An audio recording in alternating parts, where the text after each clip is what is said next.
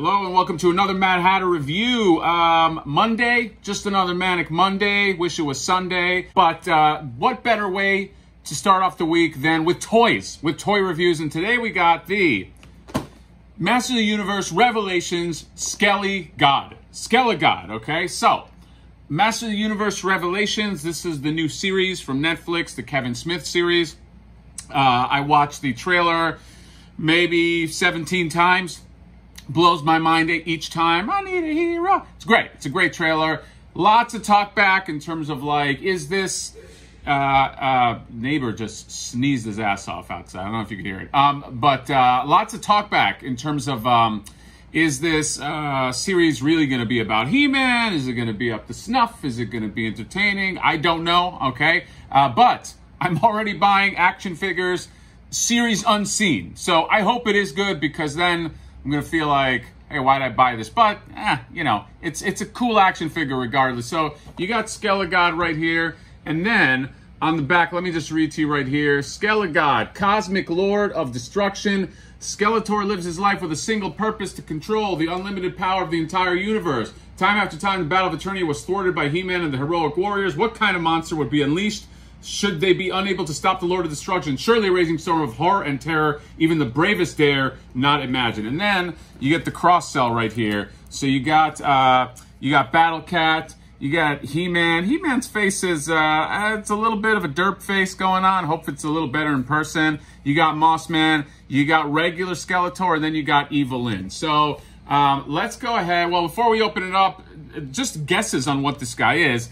Uh, I'm guessing, as I think a lot of people, it's not an original guess, but uh, this is some kind of amalgamation maybe of both power swords where He-Man or Skeletor gets He-Man's power. Um, anyway, it looks like some kind of like final form thing. I'm guessing that this might be sort of like end of series Super Saiyan Skeletor. Um, again, these are just guesses. I don't know, but uh, looks like sort of an end game form. And I believe this guy is bigger than some of the other figures. By the way, uh, my guy got this at Target and it was, I believe, $35. So that's what you're looking at. The other figures will probably be cheaper because I don't think they're as big. But uh, anyway, let's go ahead and open them up and let's see what we are looking at. See you there.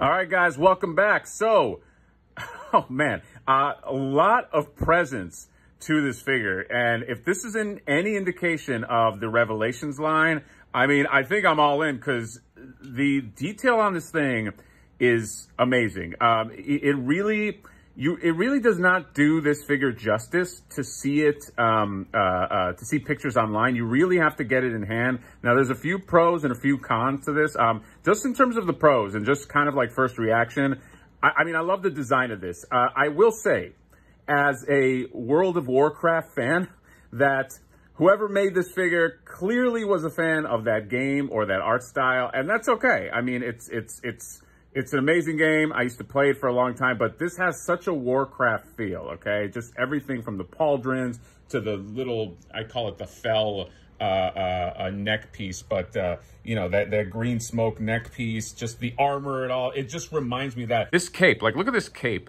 It's got all these different layers on here. So you have this layer and that layer, but then it's got these, like, like things that hang down and they have these little, um, I don't even know what you call this, but these little plastic pieces on here. But this looks like it's something, this really does look like Warcraft art. So, um, um, it's, it's, it's, I, I, don't know. First impressions, I think the design on this is very, very thorough. I don't think this was something that was slapped together. I think that this is done with a lot of artistry. Um, I will say that the first con that I could give it is that it's there's a there's a little bit of an inconsistency in the details. Like you'll have moments or you'll have pieces that are super super detailed, like the skull right here and the horns right here. But then you'll have like these pauldrons, which I like the look of them, but it's just like this like one piece like plastic. So I just wish that they could have just kind of kept that consistent. Um, like I, I really think if there was a, just a little bit of texturing on this, that would really really make this pop. If maybe there was some texturing like on on these spots right here.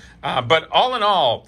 I, I, that's being nitpicky. I think. Uh, well, one one more thing too. I don't know if I love some of the fabric on this. I mean, it, it, it, there's a little this piece right here is just a little felt like it looks like it's like something you get out of like Michaels or something like I I, I don't know I, I I sort of wish that there was a different approach to the to the cape but I do like the different layers and I do like these uh, hanging pieces right here so um, I will say all in all this is an awesome figure and it's definitely going to uh, motivate me to get more uh, more out of this line. Um, so in terms of uh, accessories he comes with this like green I, I, keep calling it fel because I'm like a Warcraft guy, but like this green uh, uh, punch, uh, beam punch or whatever, you can put that on, have him have him cracking skulls like that. Then he comes with these two hands. They look like they're grabbing hands, grabbing slash fist hands. And then he comes with this sword. Now I don't know if this is sort of the, uh, sort of the uh, combined power sword or what this is, but looks like it probably could be. The sculpt is really really great. I just love how the helmet with the little I guess V-shaped thing in there, and the and the ram horns and the the pauldrons and just the, the, the gauntlets and just this loincloth right here, the, uh, the, the, the, the shin guards. And the, I mean, it's, it's, this is an intimidating figure. This will look great. It's, it's very, very eye catching. And, um, I, I seriously recommend it. Um, in terms of articulation, so you got the head goes up, head goes down. You got the ball joint here. Uh, you get some decent movement, uh, from it. Uh, you get the ball joint on the uh, the ball joint on the shoulder, although uh, you are not going to get him, there's only so much, at least for mine, that I could have his arms go down uh, because it just kind of stops here. I can have him stretch out about that way, and he can kind of do a little bit of this, but then there's obviously sort of like a limit there. Um, he has the bicep swivel. He's double. He's got the double joint elbows, which is really really cool. He's got the hinge on the uh, uh, on the wrist.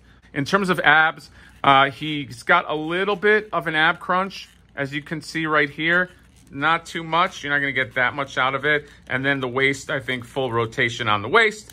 You get the ball joint in the thighs and you get a thigh swivel, which is really, really cool. You also get a double joint on the uh, knee, which is cool for such a big dude. And then is there. You got a boot cut. Dude, he's got a lot of articulation. You get the hinge here, and then you get the rock here. So there's a lot of stuff that you could do with this guy. I know a lot of people said that their joints on their boots were loose. Mine is not loose. Mine's pretty tight, so I don't know. I'm pretty happy with him. Um, in terms of how he measures up to the rest of the line, well, let's just go. Uh, uh, I have a Master of the Universe Skeletor Origins right here. It's comparison time. Uh, so you can take a look right here.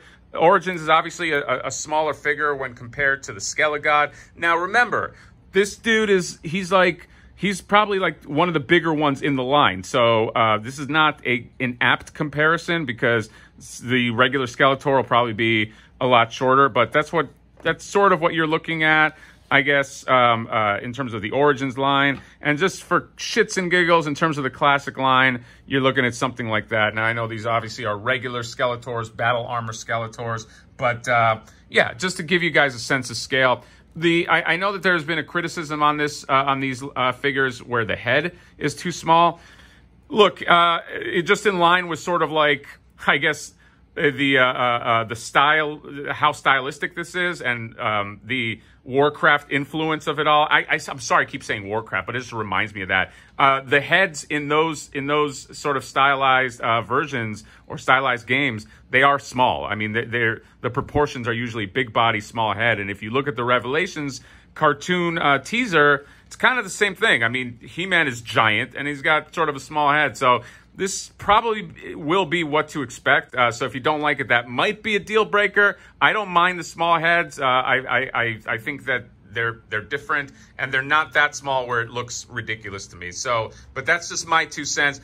Anyway, I'm really, really happy with this figure in hand. You definitely do need to see this guy in hand. Uh, the pictures do not do him justice. He's got a lot of cool detail, and I can't wait to see what this guy is about when the uh, when the show premieres. So that is it. Let me know what you think about Skelegod here. Comment, subscribe, give us a like, and uh, we'll see you next time. Bye-bye.